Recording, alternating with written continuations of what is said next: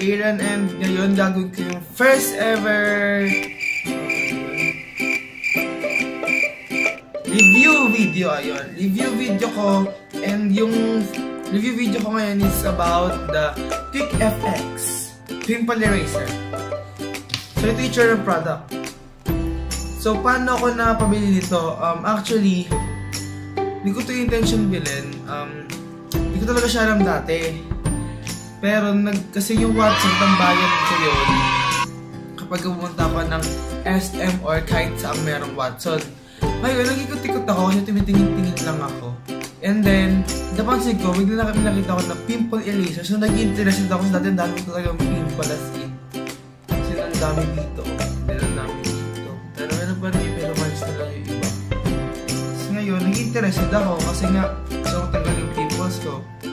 So, yun, napabili ako and the, ano um ginagamit ko to for um, about um, how many weeks na rin siguro. Pero hindi ko alam kung mabot na siya naabot na siya naman so yun. So yung preparation na nakalagay dito with glycolic acid salicylic acid zinc oxide vitamin C and niacin. Niacinamide so wala ko alam kung ganun helps dry up pimples. So, nakaka-trigger siya ng pimples nga para mawala. And then, helps diminish and reduce dark spots due to scarring. So, nakawala daw siya ng mga pimple marks. Pero dapat hindi nakawala yung sa akin. Um, helps protect skin against the sun. So, ang, ang, kasi research and ko yung iba dito, yung tulad ng niacinamide. niacinamide. Alam, alam ko yung parang nagiging ano, nagiging sunscreen is yung niacinamide. So, ano to, um, 10 grams lang siya. So, sa likod nakalagay dito, ano, with glycolic acid that rejuvenates and evens out skin tone. It also clears pores by removing all the dead skin cells exposed, exposing healthy skin cells underneath. With salicylic acid that helps prevent and treat acne. So, yung salicylic acid pala yung pala nag-prevent at nag-treat ng acne.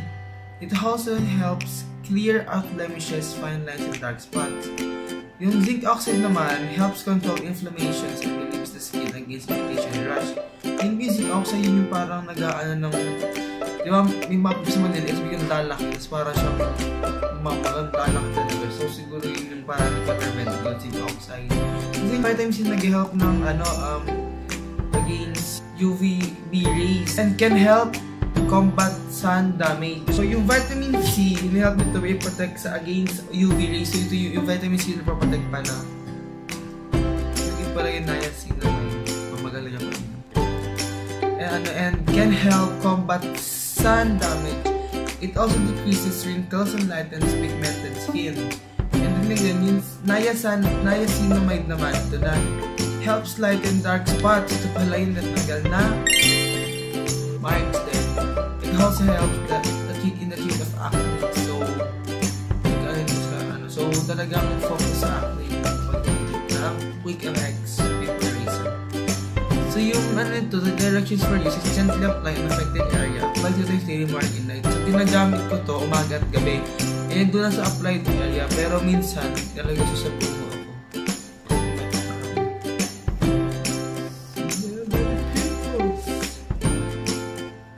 yung, ingredients niya is water, mineral oil, niacinamide, petrolatum, cetyl alcohol, 500 stearate, gaseous stearate, stearic acid, sorbitan stearate, polysorbate 80, technological, diamine, glycerin, citrulline, 8 alcohol, zinc oxide, glycolic acid, salicylic acid, ascorbic acid, So ano to, um, made in Korea. Baby, So yung price ito is 59 pesos. So kung naghahanap kayo ng mura, medyo murang-mura na ano, parang pang treat na acne. Talagang ano siya, tsaka ano siya, madali siyang mailagay sa bag. So, kung wala sa school, so maglagay ng ganito, hindi lagay mo sa bag. Maliliit lang, ayan. Hindi lang siya kaliit. So, yun, um, eh, ano, hindi naman, hindi kasi ano, actually, mapapalit, nagpalit na ako ng bago. Pero, yun pa rin gamit, inuubos ko lang siya ngayon. And then, bumili ako ng Pants Acne Clear Leave-On Gel. So, yun yung itatry ko naman. Ang gagawin ko na ng video. Gagawin ko yung 3-day pants challenge. So, abangan nyo yun.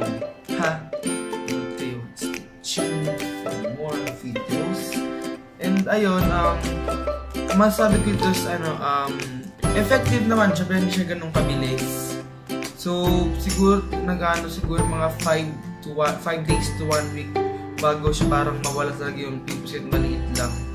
Anong, yung effect sa akin, yung effect sa akin is hindi siya natutuyo agad. Parang, kunyari may, may maliit.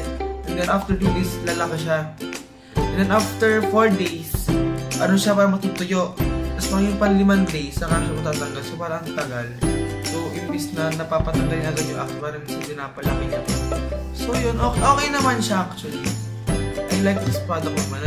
Ano kasi siya Korean? Kasi nga, di ba, syempre, ang Korea is known for ano mga skincare products. So, ayun. All in all, um, this is worth it to buy. Kasi, well na nga siya and then effective siya. Kasi, yung iba iniisip na kapag mura, hindi effective. Pero, this FX People this is effective. So, that's all guys for this review video. I hope you like this video and don't forget to like and subscribe to my channel. Bye! Just a pretty girl